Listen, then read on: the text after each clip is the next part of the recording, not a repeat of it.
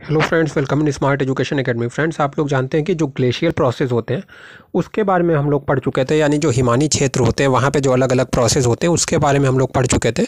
अब जो paraglacial process होते हैं पैराग्लेशियल प्रोसेस यानी परिहिमानी प्रक्रम जो होते हैं, उसके बारे में पढ़ेंगे। देखिए, यहाँ पर थोड़ा सा समझ लेते हैं, परिहिमानी प्रक्रम से मतलब क्या है। जैसे कि हम लोग देखते हैं एक रिवर है तो वो कुछ काम करती है, जैसे इरोज़न वगैरह का काम करती है। तो इससे क्या होता है अलग अलग लैंडफॉर्म का डेवलपमेंट होता है। यानी कि जो रिवर के द्वारा इरोज़न वगैरह होता है, उससे अलग अलग प्लेटफॉर्म बनते हैं यानी कि भू आकृतियाँ तो वैसे ही जो हमारी परिहिमानी क्षेत्र हैं, वहाँ पे जो बर्फ़ है, या फिर कह लीजिए जो हिम है, उसके जमने से, पिघलने से और भी जो उसकी क्रियाएँ होती हैं, उनके द्वारा कुछ जो है अलग अलग लैंडफॉर्म बनते हैं। तो पहले तो हमें जानना होगा कि क्रियाएँ कौन सी होती है, जैसे कि रिवर के द्वारा इरोज़न होता है तो वैसे ही जो हिमानी है, परिहिमानी क्षेत्र है, वहाँ पे बर्फ़ के द्वारा जो अलग अलग प्रोसेस होते हैं, पहले तो उन्हें समझना होगा। तो आज हम लोग उन्हें समझेंगे, यानी कि जो प्रोसेस होते हैं। अब आज में और अगले वीडियो में हम लोग इन प्रोसेस को समझेंगे और उसके बाद देखेंगे कि इन प्रोसेस की वजह से, यानी कि आज ये लोग, ये जो हम लोग प्रोसेस देखेंगे, उसकी वजह से जो अलग अलग लैंडफॉर्म बनते हैं, उनको फिर हम अगले वीडियोज़ में देखेंगे। तो शुरू करते हैं तुषार अपक्षय के साथ। तो ये हमारा आज का पहला प्रोसेस है फ्रॉस्ट वेदरिंग तो देखिए, इसे हम लोग पहले भी डिस्कस कर चुके हैं, बहुत ही इजी प्रोसेस है फ्रॉस्ट वेदरिंग तो फ्रॉस्ट वेदरिंग क्या होता है? अब मान लीजिए एक चट्टान है। अब ये चट्टान कहाँ पे ऐसी जगह पे है जहाँ पे पानी जो है जम के बर्फ़ बन जाता है। तो यहाँ पे चट्टान है तो चट्टान में कुछ दरारें भी होंगी। अब देखिए, इन दरारों में क्या है? पानी भरा हुआ है। ये पानी क्या होता है कि जब टम्परेचर गिरता है, यानी कि कह लीजिए सर्दी बढ़ती है तो ये जम जाता है। और फिर जब दिन के समय में कह लीजिए कि जो सर्दी है वो कम होती है तो ये फिर से पिघल जाता है। यानी कि दिन के समय में पानी पिघल जाता है और रात में फिर से जम जाता है। इस चट्टान की जो दरारें हैं, उसके अंदर ये पानी है।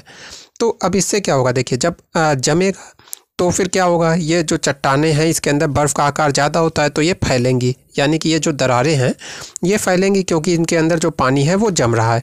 और फिर जब देखिए पानी पिघल के आ, आ, मतलब जो बर्फ़ है वो पिघल के जब फिर से पानी बन बन जाएगी तो क्या होगा ये जो दरारों के अंदर का पानी है वो तो अब कम जगह में आ जाएगा तो ये दरारें फिर से सिकुड़ेंगी या फिर कह लीजिए कि पास में आएँगी।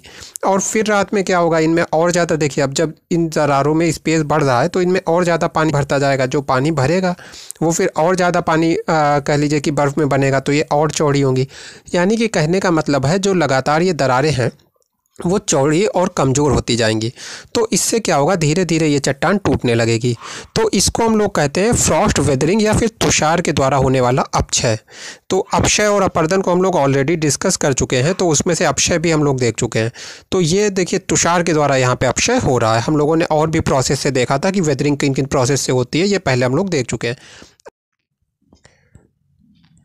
अब देखिए, जब फ्रॉस्ट वेदरिंग के बारे में आप लोग लिख रहे हैं एग्ज़ाम में तो ये चीज़ ज़रूर मेंशन कर दीजिएगा कि फ्रॉस्ट वेदरिंग कहाँ पे होगी। तो जो हमारे निम्न अक्षांश के उच्च भाग होते हैं, अभी आपको समझ में आ जाएगा।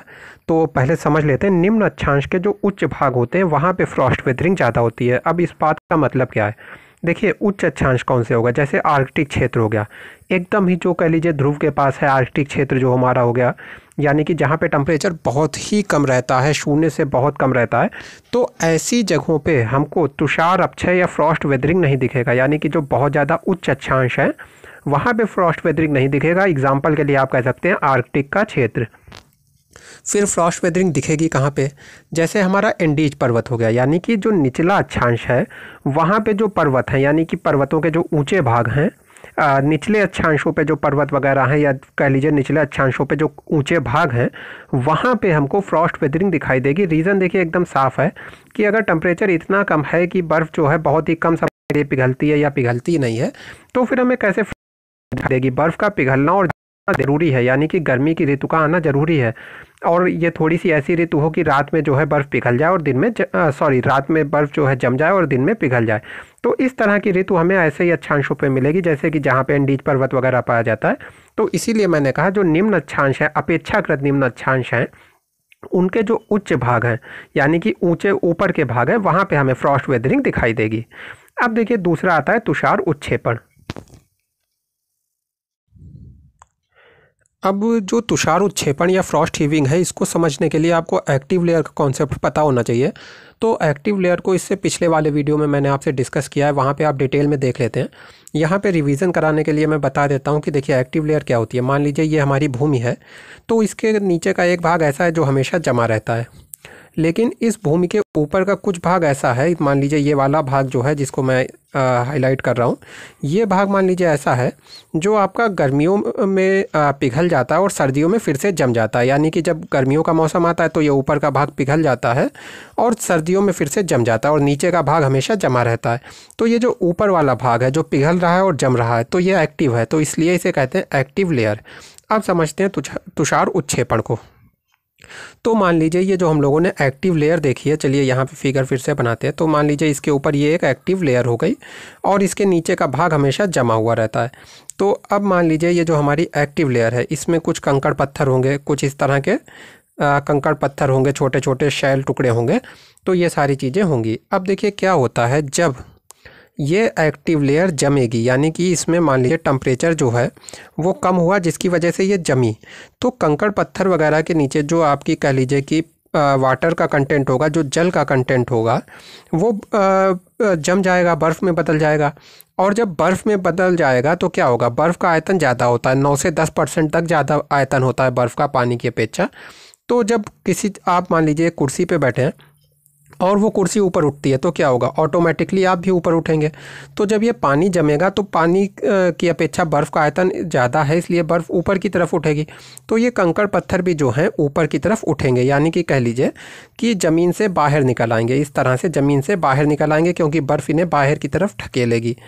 अब देखिए, मान लीजिए फिर क्या होता है? फिर से ये पानी जो है एक्टिव लेयर में जो पानी है, वो पिघल जाता है। मान लीजिए टेम्परेचर फिर से बढ़ा, पानी पिघल गया। तो ये जो कंकड़ पत्थर या टुकड़े हैं या मान लीजिए किसी चट्टान की कोई परत है, ऐसे भी आप मान सकते हैं कि ये किसी चट्टान की एक परत है जो ऊपर को ढकेल दी गई है। तो ये जो है, फिर से अपनी पुरानी पोजीशन पे नहीं आ पाएगी। यानी कि, अब देखिए, ये जो कंकड़ ऊपर आ गया, ये फिर से यहाँ पे नहीं पहुँच पाएगा इतनी गहराई तक।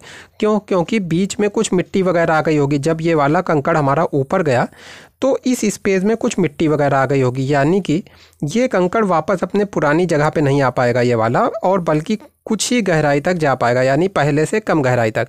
तो क्या होगा? ये कंकड़ थोड़ा सा ऊपर आ गया। अब देखिए फिर से यही प्रोसेस होगा। क्या प्रोसेस होगा कि फिर से जो पानी है वो जमेगा। तो क्या होगा ये कंकड़ जो आ, अपनी इस जगह पे आ गया था ये कंकड़ जो यहाँ पे आ गया था ये फिर से ऊपर की तरफ़ जाएगा इस तरह से। और फिर क्या होगा थोड़े दिनों बाद फिर से आ, या कुछ समय बाद कह लीजिए कुछ समय बाद फिर से क्या होगा कि जो आपकी बर्फ़ है वो फिर से पिघल जाएगी। तो ये कंकड़ फिर से कुछ नीचे तक जाएगा। लेकिन पहले जितना नीचे तक नहीं जा पाएगा। क्यों? पहले जितना नीचे तक नहीं जा पाएगा। क्योंकि वहाँ पे कुछ मिट्टी आ जाएगी। यानी कि जो स्पेस इसने बनाया था, जो स्पेस खाली करके ये ऊपर गया था, उसमें कुछ मिट्टी वगैरह आ जाएगी। तो इसलिए ये पहले जितनी गहराई तक नहीं जा पाएगा। तो एक टाइम ऐसा आएगा कि ये जो सारे कंकड़ पत्थर हैं या फिर जो चट्टान की परतें हैं, ये परतें सब बाहर की तरफ़ आ जाएँगी या फिर ये कंकड़ पत्थर बाहर की तरफ़ आ जाएँगे। यानी कह लीजिए ज़मीन से बाहर आ जाएँगे। तो एक तरह से कह लीजिए कि जो ज़मीन है, उससे ये पत्थर की उत्पत्ति होगी।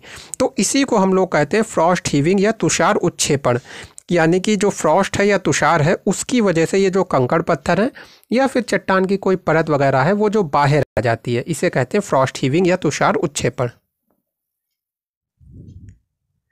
अब देखिए, जो आखिरी प्रोसेस है, वो है सॉलिफ्लक्शन या मृदा सर्पण, इसे भी समझ लेते हैं, बहुत ईजी है, देखिए। ये मान लीजिए, हमारा एक लेयर हो गई, इस लेयर के जो ऊपर का ये वाला भाग है, ये गर्मियों में पिघल जाता है, सर्दियों में जम जाता है, यानी कि ये एक्टिव लेयर हो गई।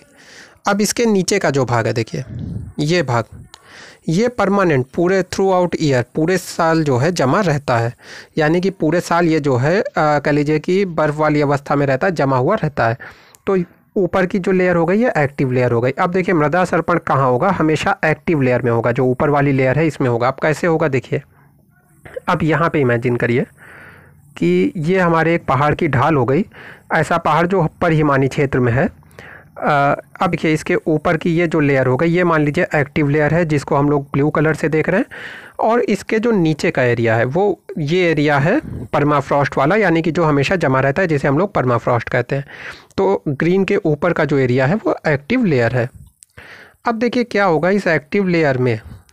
आ, जो सर्दियों का मौसम होगा उसमें तो ये जम जाएगी यानी कि कह लीजिए ठोस अवस्था में हो जाएगी। लेकिन जब गर्मियों का मौसम आएगा तो ये पिघलने लगेगी। जो एक्टिव लेयर है, ये पिघलने लगेगी। फिर से द्रव अवस्था में पानी जो है, फिर से पिघलने लगेगा। तो अब जब पानी पिघल जाएगा तो क्या होगा? देखिए, एक तो मिट्टी के साथ ये पानी मिल जाएगा। अब ये पानी नीचे तो जा नहीं पाएगा, क्योंकि नीचे की जो लेयर है, वो जमी हुई है। नीचे जो हमारा परमाफ्रॉस्ट का क्षेत्र है, ये क्षेत्र पूरा का पूरा जमा हुआ है। इसके नीचे पानी जा नहीं सकता।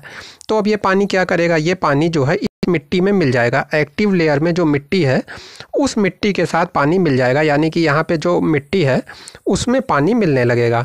अब देखिए, अगर मिट्टी में ये पानी मिल जाएगा, जो पिघलने से, बर्फ़ पिघलने से बना हुआ पानी है तो क्या होगा? मिट्टी का एक तो भार बढ़ जाएगा वेट बढ़ जाएगा। दूसरा, मिट्टी चिकनी हो जाएगी। यानी कि जो वाटर है हमारा, वो एज ए ल्यूब्रिकेंट या फिर कह लीजिए स्नेहक की तरह काम करेगा। यानी कि मिट्टी को चिकना कर देगा। तो भार बढ़ गया प्लस चिकनी भी हो गई। तो ढाल पे क्या होगा? नीचे की तरफ़ सरकने लगेगी। नीचे की तरफ़ कह लीजिए मिट्टी जो है, वो नीचे की तरफ़ सरकती हुई चली जाएगी। तो इसी को कहते हैं सॉलीफ्लक्शन या मृदा सर्पण।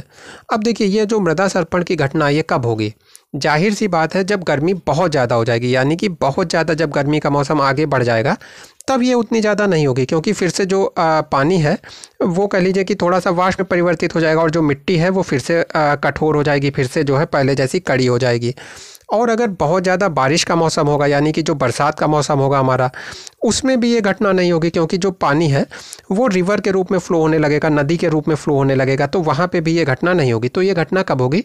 जब गर्मियों का मौसम स्टार्ट हुआ होगा पानी पिघलना स्टार्ट ही हुआ होगा तो ये पानी जो है मिट्टी के साथ मिल जाएगा। जब मिट्टी के साथ मिल जाएगा तो मिट्टी का वेट बढ़ जाएगा, प्लस मिट्टी चिकनी हो जाएगी, जिसकी वजह से ढाल से नीचे की ओर खिसकने लगेगी। और जब खिसकने लगेगी तो इसी को कहते हैं सॉलीफ्लक्शन और या मृदा सर्पण। और देखिए, अगर ये बात आपको ज़रूर लिखना है कि ये पानी नीचे की तरफ़ क्यों नहीं गया तो इसलिए नहीं गया क्योंकि नीचे परमाफ्रास्ट का क्षेत्र है, यानी कि वो लगातार जमा रहता है। तो इस तरह से तीन प्रोसेस हम लोगों ने डिस्कस कर लिए। निवेशन वगैरह के जो एक आध प्रोसेस हैं, उसे भी डिस्कस कर लेंगे और फिर देखेंगे हम लोग कि इससे इन सारी वजहों से कौन कौन से लैंडफॉर्म बनते हैं।